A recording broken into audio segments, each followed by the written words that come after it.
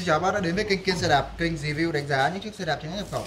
Video hôm nay mình cho các bác mẫu xe đua gian SPR được trang bị bộ chuyển động Shimano Soja, khung nhôm nước sơn nguyên bản, phanh 3 mảnh, 700C. Toàn bộ phần khung của chiếc xe như các bác thấy trên hình là làm từ loại nhôm, vật liệu nhôm siêu nhẹ, sơn nguyên bản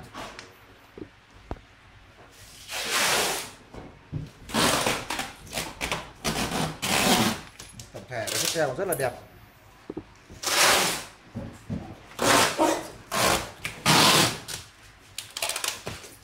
Trang bị full bộ chuyển động, Shimano Soja để đánh gạt đĩa. Shimano Soja.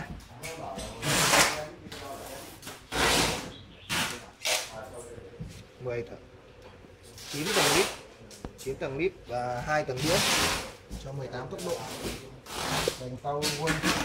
Đi vòng cố đổ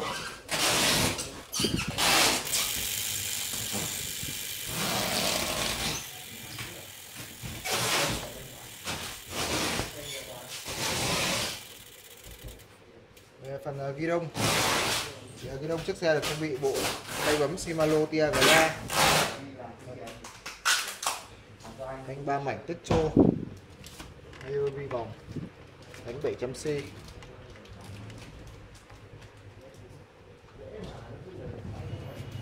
Giám sẽ vào đo size của chiếc xe và test chuyển động để à, cho các bác xem.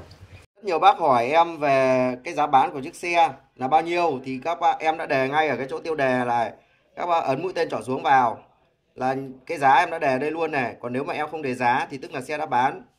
Cái thứ hai là một số bác bảo là không thấy youtube gửi thông báo khi mà em đưa lên xem xe mới lên trên kênh ấy, thì các bác ấn cho em cái chữ đăng ký, chọn, ấn chuông, chọn tất cả đấy thì nó sẽ gửi tất cả các cái thông báo khi nào bên em cứ có xe nào đăng lên trên kênh thì nó sẽ gửi cho các bác vào thông điện thoại nhá.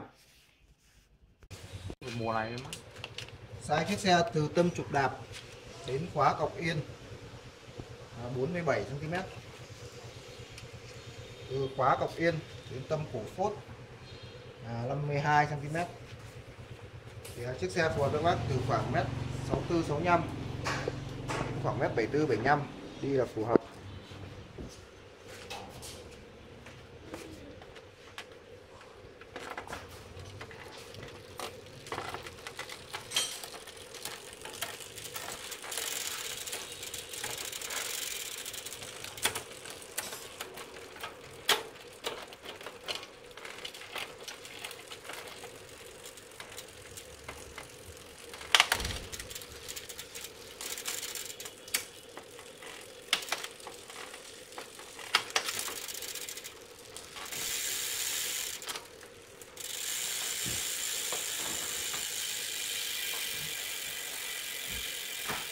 Thì, à, bên em đang bán chiếc xe này với giá chỉ có là 8 triệu 900 bao ship toàn quốc cho tất cả các bác chuyển hết tiền.